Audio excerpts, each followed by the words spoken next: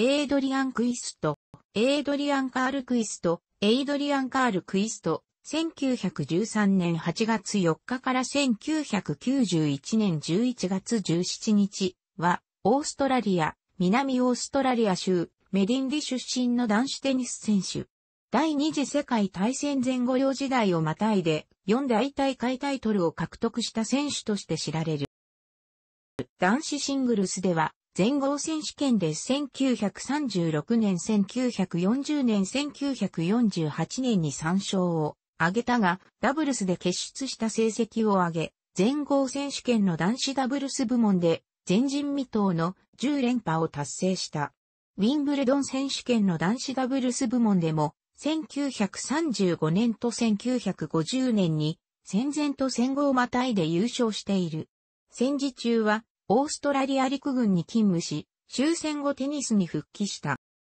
エイドリアン・クイストは1933年からデビスカップオーストラリア代表選手となったが、最初の年はヨーロッパゾーン決勝でイギリスに敗れた。その前の準決勝は日本との対戦で、クイストはジャック・クルフォードとのペアで、日本チームの佐藤二郎、布入良介組に勝った。デファイ準決勝の前、クイストは全仏選手権のシングルス2回戦で布井に6から2、6から2、1から6、1から6、4から6の逆転で敗れ、その後も全仏との相性は良くなかった。1934年のデビスカップヨーロッパゾーン準々決勝で日本とオーストラリアが対戦した時はクイストは、クロフォードとのペアで、山岸二郎、西村秀夫組を破っている。クイストとクロフォードのペアは、1935年、全仏選手権と1935年ウィンブルドン選手権の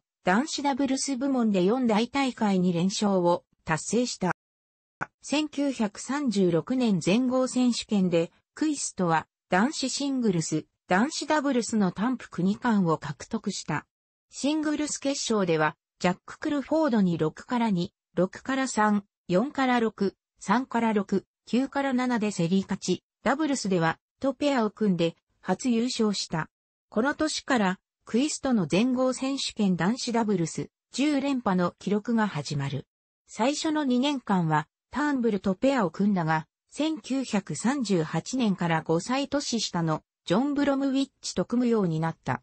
クイストの戦前のテニス経歴の中で、デビスカップでの対日本戦は1933年、1934年、1938年の3度あった。1938年の出敗対日本戦では、クイストは山岸二郎と中野文章にシングルスダブルスとも勝利した。クイストとブロムウィッチは1939年、全米選手権男子ダブルスでも優勝を飾ったが、その直前に第二次世界大戦が開戦された。1940年全豪選手権でクリストは再びシングルス決勝でジャック・クルフォードを破り、男子ダブルス5連覇と合わせて4年ぶり2度目の単服2冠を達成した。この大会の後、戦争の影響で全米選手権を除くテニス4大大会が開催中止となる。クイストは戦時中、オーストラリア陸軍に従事した。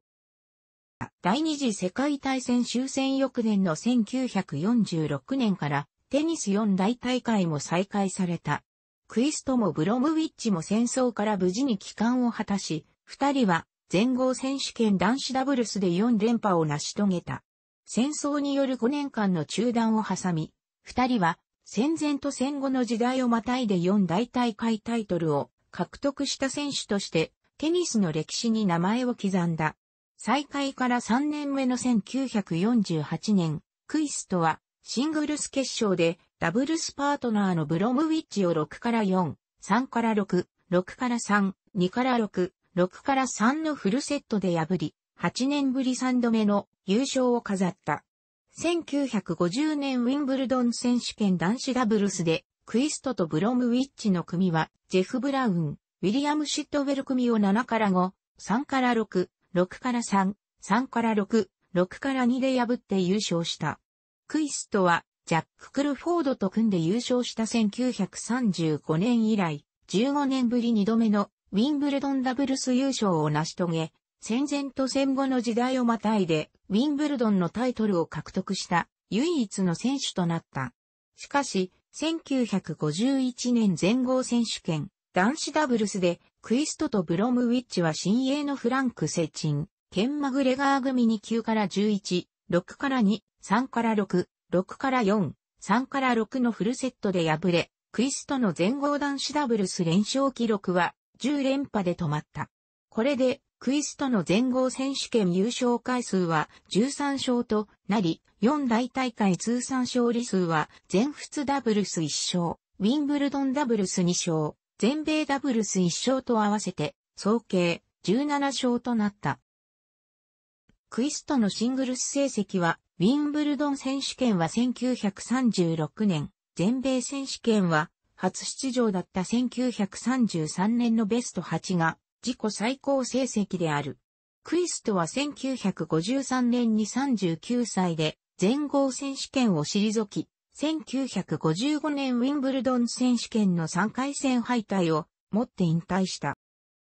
1984年、クイストはダブルスパートナーのジョン・ブロムビッチと共に国際テニス殿堂入りを果たす。この年にクイストはテニスの偉人たちマイナス1920年代から1960年代という回想録を発表した。戦前と戦後の激動期を生きたエイドリアン・クイストは、1991年11月17日にシドニーで78年の生涯を閉じた。